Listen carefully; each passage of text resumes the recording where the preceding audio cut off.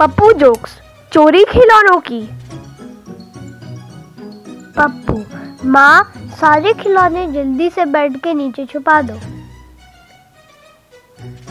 माँ, क्यों? क्या हुआ? क्योंकि मेरा दोस्त डब्बू आ रहा है। डब्बू खिलौने चोरी कर लेगा क्या? नहीं, वो अपने खिलौने पहचान लेगा।